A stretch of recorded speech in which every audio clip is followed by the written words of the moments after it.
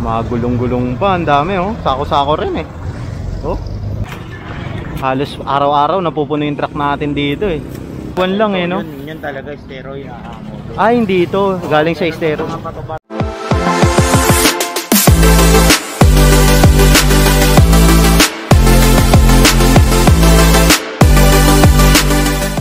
Yon, magandang umaga sa atin lahat. Narito tayo ngayon malapit sa Tutuban. Ayan, kung mapapansin natin, narito yung mga sako na pipikapin natin.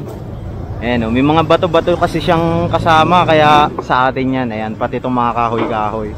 Pero yung mga basura sa Leonel po naka-assign yan. Ngayon, ito po yung request natin na para mawala to sa ano.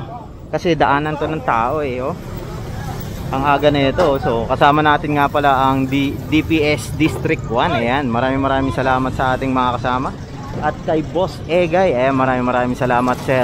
Dahil patuloy nyo kami pinaunlakan na sumama sa inyong team sa pagkakandak ng clearing operation dito sa bahagi ng District 1, Tondo, Maynila. Ayan.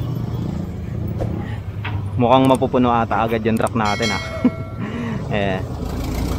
Yung mga puno-puno pa kasi eh, no? Umugat ng puno. oh. Yun. Nagtanggal yata sila sa kami mga panambak. Ayan. So ang maganda lang dito ngayon kasi malinis na yung pinaka-estero natin. Ayan, oh, wala nang kalat. Tignan natin. Dito tayo sa kabila. Ayan. Kasi patuloy rin sila sa paglilinis ng mga estero. Meron man, pero mangilan-ngilan na lang. Hindi katulad dati na talagang pulo-pulutong na makikita mo dito sa estero na malapit sa may tutuban, 'di ba? Pero ngayon wala ka na makikita lumulutang kasi part 'yan ng paglilinis ng government. Ayan, ng DPS rin natin. Sila sila rin po ang naglilinis niyan, pati flood control, engineering, DEPW. Ayan, so talagang sipag lang ang kailangan at consistent, 'di ba? Dito tayo tawid tayo.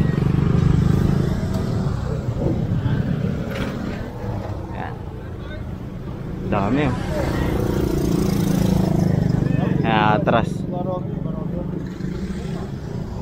Dami. Mga ka one port agad yung truck natin kasi ang dami mga sako-sako. Saan kaya galing to?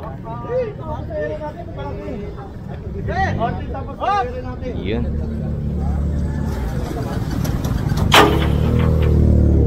Dami.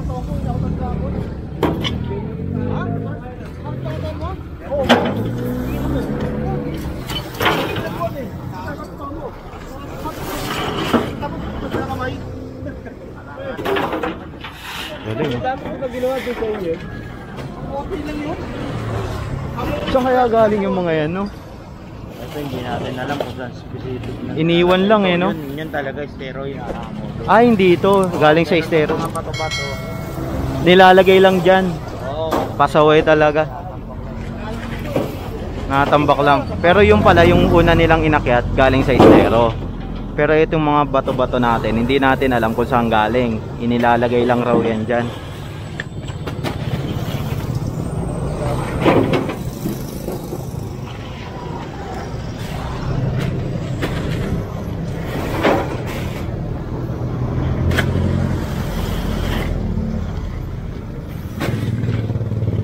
Bigat niya, no?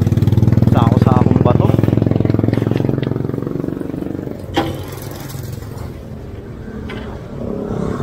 So ayan, mag-ikot-ikot ulit tayo dito sa Kalakang, Maynila sa District 1. At kasi may mga request sa atin na pipick upin. Ayan, dahil nga nagkalat sila sa kalsada, ang grabe. Ayan, so itong mga naiwan is pa, para sa Leonel na yan. Kasi hindi talaga tayo pumipick up ng basura. Bali ang mga ano lang, panambak at mga kahoy-kahoy po ang pinipick up natin. So sakay na tayo sa sasakyan natin. Ayun no, meron na naman tayo nakuha dito sa Middlepan. So narito ang PDO. Tinataniman nila yung ano dito, ah, island. Ayan o, pinagaganda na nila. Kung nakikita natin nakaraan is nilalagyan ng mga manok to.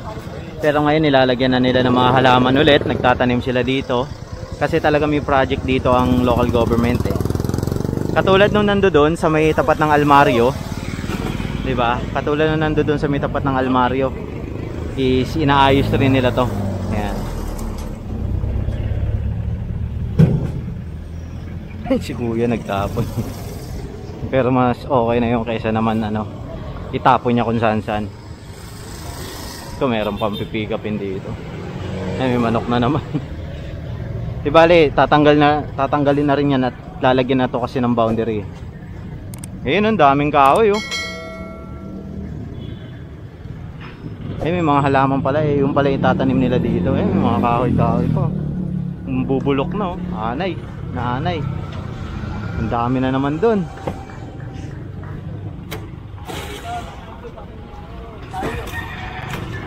Halos araw-araw napupuno yung truck natin dito eh. Sa pag-ikot natin eh.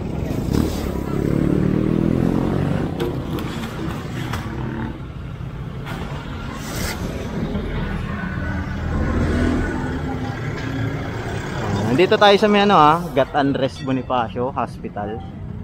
Ayan. Kasi ito pa yung ibang mga plywood plywood at kahoy. Noong nakaraan, puro sopa naman yung nakakukuha natin. Ngayon, puro kahoy naman. Ayan, siguro nag-aayos sila ng bahay. Kaya puro kahoy yun nandito sa labas. Dami oh.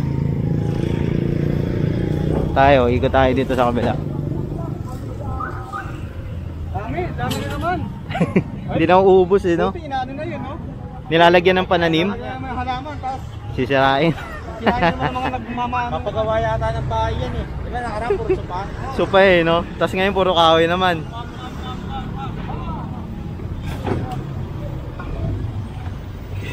Papagawa ng bahay, tapos ano?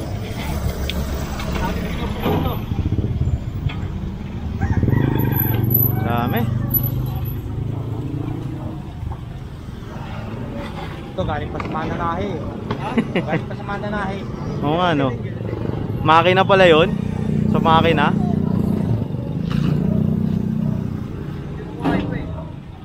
Dami, puro kahoy ulit. Tapos doon, may nakikita na naman tayong basura.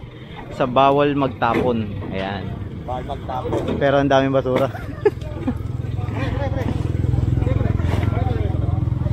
Wala, anay na to. Ayan.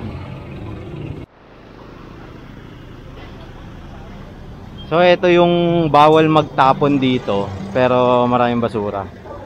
Ayan. Pero hindi natin pipick upin niya kasi talagang basura na yan eh. Wala yung mga plywood plywood kahoy kahoy. Sa Leonel na yan.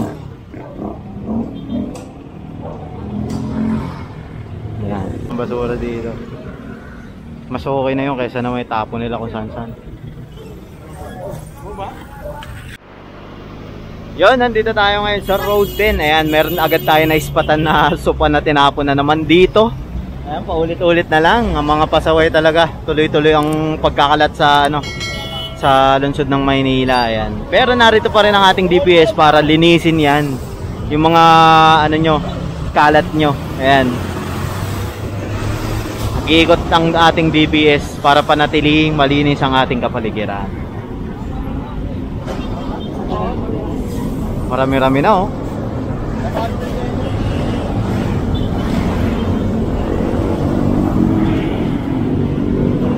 Pagligong pagligo natin sa Almario, meron agad tayo na ispatan. So, pabiyahe tayo doon, titingin pa tayo. Ayan, ang dami dito. Ah, nakakalat na. Paul, tagal pa, Paul. Nakakalkal na ng aso eh. Yung mga etyas-etyas pa.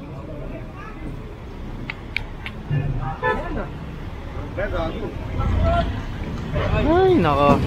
Titignan natin, nakasagabal siya sa kalsada, di ba? So, sa tingin ko, parang palagi na atang ginagawa to dito. Nag-iikot-ikot tayo ngayon dito sa Tondo. Actually, nasa Moriones tayo eh.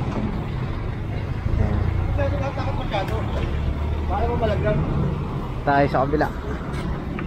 Eh, puno na yung truck natin, kakaikot natin, oh. Kung di umiikot ang DPS, nako, matatamba ka ng basura talaga ang Maynila.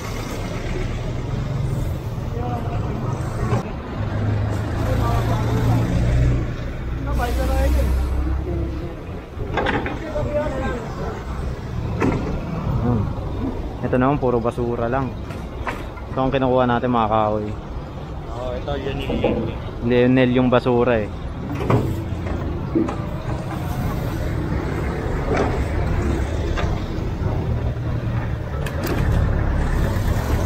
Mga gulong-gulong pa, ang dami oh. Sako-sako rin eh.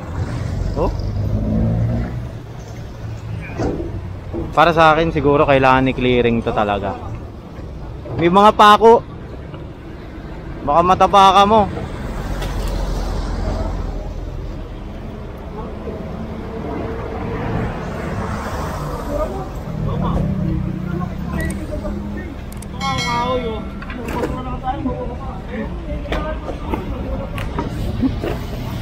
Ayan. Puro kahoy, ang dami. Pupuno na yung truck natin. Oh.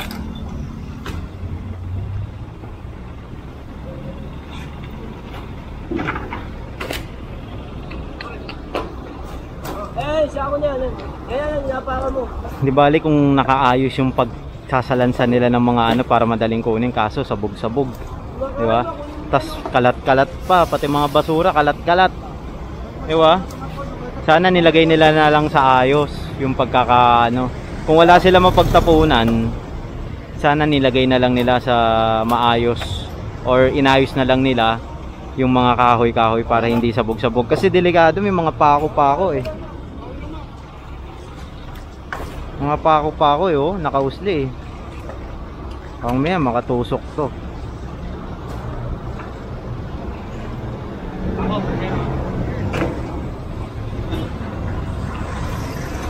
Para tayong naggiba ng bahay sa sobrang daming kahoy na nakuha natin ngayon.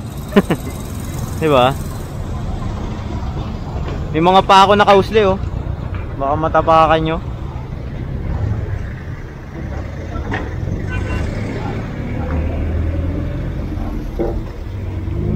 Yan, kahit pa paano nabawasan. So, itong basura pipikapin na lang siya ng Leonel mamaya. Kasi dadaan to eh, maghapon naman ng Leonel sa pagpipikap ng mga basura eh. May kota kasi yan eh.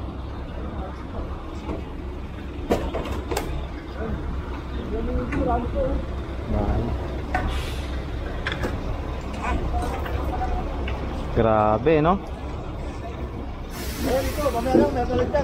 Oo, meron na naman po mamaya.